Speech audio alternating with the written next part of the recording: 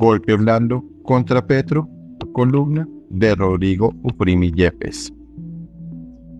No es la primera vez que Petro y el petrismo denuncian la puesta en marcha de un golpe blando en su contra.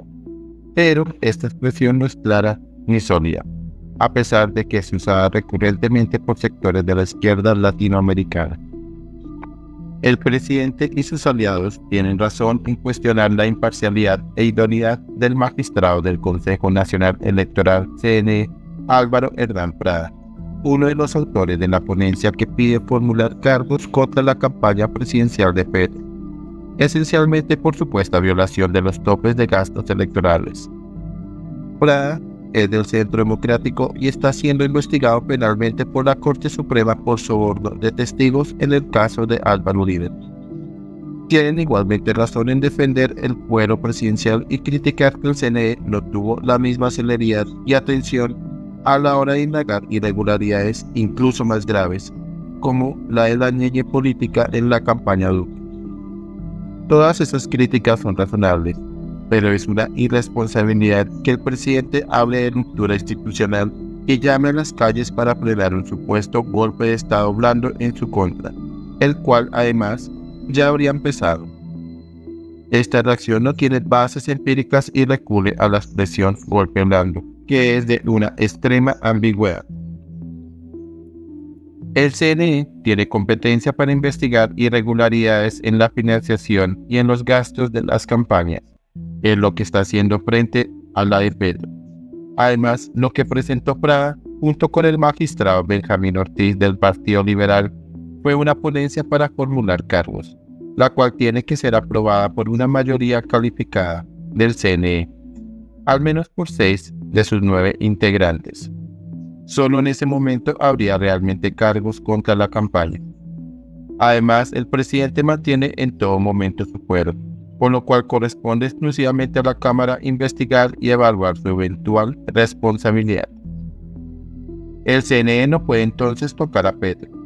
Se encuentra que fueron violados los topes electorales, sus facultades se limitan a imponer sanciones administrativas a los partidos y a los responsables de la campaña.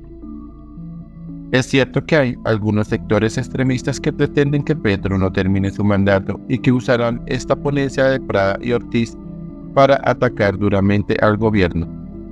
Pero es una exageración decir que existe una ruptura institucional y que está en marcha un golpe blando por la simple presentación de esa ponencia. Que algunos de los integrantes del CNE como para actúan con sesgos partidistas es verdad. Pero lamentablemente esto no es inusual, sino que deriva del origen puramente partidista de ese órgano, con lo cual muchos hemos propuesto infructuosamente que sea eliminado y sustituido por una corte electoral independiente. Pero una cosa es señalar esos sesgos y otra muy distinta hablar de un golpe de Estado. No es la primera vez que Pedro y el petrismo denuncian la puesta en marcha de un golpe blando en su contra.